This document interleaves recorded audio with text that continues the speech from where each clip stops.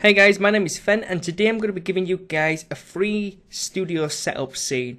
And I've included in the description there will be a link to this file here which is a free studio scene that I've literally just made. And you unzip it from this file you need WinRAR or WinZip it does the same thing. And basically you grab this folder whip it on your desktop you go to your start menu my computer you go to your C drive if you're on 64-bit, 64-bit. If you're on 32-bit, go 32-bit. I'm on 64-bit, so I'm going to go to my 64-bit uh, programs folder. And then I'm going to go into Maxon. And then I'm going to go into Cinema 4D R13. Go into Library, Browser. And then drag and just drop this in here. Now, for me, the file is already there. So that's fine. Once you've done that, exit out of that. Load up Cinema 4D job is a good one. So you can either go to Windows and then go to Content Manager or Content Browser rather, or you can go over here.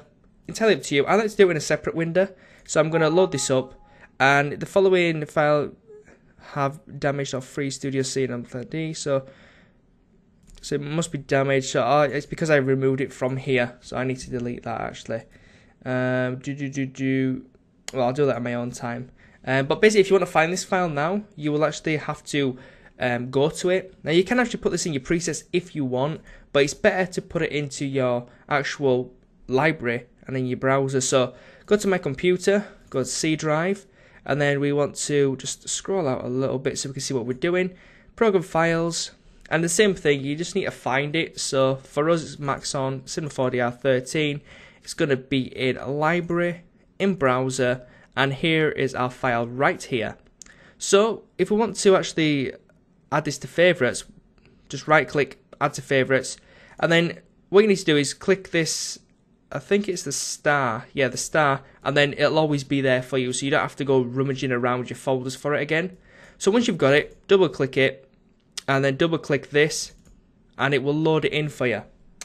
Now, I'm not sure if it actually saves settings as well, but we will actually look at that right now. If not, I'll show you how to set up the settings here. So we've got a few things in this scene. Now, if you want a tutorial on how to set up these lights, currently the lights are turned off, just so you can actually see what you're doing in the viewport. If I turn the lights on, you will see they're these type of lights. Now, you might have seen these before. These have been made popular by um, Nick Campbell from Greyscalegorilla. He has made a light like this, which is 10 billion times better than this one because it has interactive options that is basically XPresso. Now, this is just a simple light, so therefore, if you want to edit this, you would have to actually go into the light and do it manually from all these properties. Now, if you do want to edit these, the, the things that you would actually change is the, the intensity of the lights, which is here in general. So, scroll this down, find the light, and reduce the intensity or change the color whichever it's your personal preference. Um, also you might want to reduce the um, fall off of the light. So you would also go into details and the fall off is down here. So they're the two main things you would need to know. Again shadows it's entirely up to you. But all the options are in the lights. Um, they've, they've been set up pretty default. Um, they should work on pretty much anything that you've got um, what we have here is basically we've got lights around this box. If I unhide them all, you will see the setup we have. It's basically a box. It's got a floor. It's got a roof. Well, it doesn't really have a roof. It's got a back plate um, here and basically it's just lights all the way around it. And this is uh, a box studio. This is for things like coins and stuff like that. When you take pictures of them you have this type of setup. So it's a very nice setup. There's many ways you can do this but this is one of the ways I have done it. So I'm actually going to turn these off again because they do tend to get in the way especially when you're trying to zoom in. Um, it, it lags the system and whatnot so you do need to keep these off. Um, but they will render well they will render out when you actually render the scene, but you won't see them in the viewport, which is what we want. So we've got a curved background here to give us the illusion of a soft backdrop. Um, otherwise it'd just be a harsh curve, which we don't want.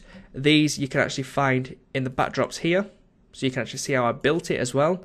And then we've got the replacement items. This is where you would replace your items. So I'm actually going to go onto the sphere and press S on my keyboard, which will kind of um, jump me into that thing, and then I'm actually gonna just line this up. Now, I don't think the render settings have actually been saved, but we will go through them right now. So go to render settings. I'm gonna change this to you know 1280 by 720, you know standard HD. We're gonna enable global illumination. For the purpose of this, I'm going to reduce the settings on you. You probably could just leave them as they are. It probably would render out pretty decently. And I'm also going to go and enable ambient occlusion because we want these shadows to be a little bit intensified so we have some, you know, oomph to the actual render. Now, once you've got this all lined up, just um, hit render and everything should render out pretty damn nicely. Now, I'm not sure how long this will take. It could vary. It will vary on your system. Sometimes it'll be faster, sometimes it'll be slower. It really depends, and especially if you start adding in reflections and stuff, which the Sphere does have. It has reflections, so you can actually see what the studio looks like. But again, this will all depend on the materials you use. So the lights could need some adjusting, um, the colours could need changing, and stuff like that. I've gone for like a really whitey blue look, you know, it's not pure white, which a studio it pretty is much pure white. But I wanted to add it, add some character to this um, studio setup, so I actually did add in a, a blue tinge to all the lights. Now, of course, you can actually change these if you wanted to, so you can have different color lights. Make it look um, as nice as you want. I'm just gonna bring this out a little bit just so we can actually see the full product once it's rendered out. And it's almost there. It's taking about about a minute. I'd say about a minute 30, and it should be done. I mean, that's not too bad. Um, of course, if you're doing animation, this would obviously need to be changed. Um, maybe not so many lights and stuff like that. Maybe not so many shadows. Because at the minute, all lights are emitting shadows, which of course all lights do but you might want to turn some off just in case. Um, and of course, you might want to turn ambient occlusion off or even turn it down. Really depends because as you can see, we're getting some really dark shadows at the bottom here, and that's thanks to ambient occlusion. So 1 minute 35 now, almost there. Uh, I don't think that's too bad. So about 1 minute 42 seconds. Yeah, 1 minute 42 seconds, that's pretty decent. So let's scroll into 100%. And that looks pretty nice. We've got some really lovely highlights on this text. Really nice and the sphere looks pretty decent as well. We've got some really nice shadows. Um, keep in mind though, this sphere is actually indented into the ground, if that makes sense. It's actually passing through this plane. Uh, I didn't really change it because these items will be changed from you, but it will look 10 times better once you actually change it. And again, it really depends what materials you use. If you change the colour of the background, fair enough. You could maybe add some reflections. It would take longer to render, but then again, it would just be the same. It, it would look nice.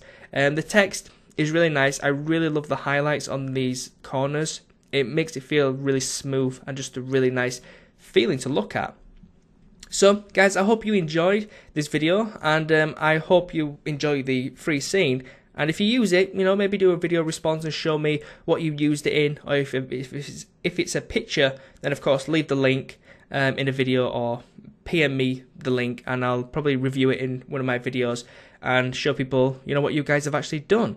Um, if you want to know how to actually make these lights, then let me know and I'll do a tutorial on it. Doesn't have to be 10,000 people requesting this. If just one person requests it, I'll be more than happy to actually do a tutorial on it.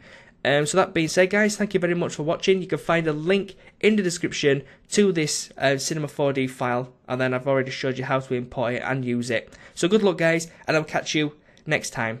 Peace.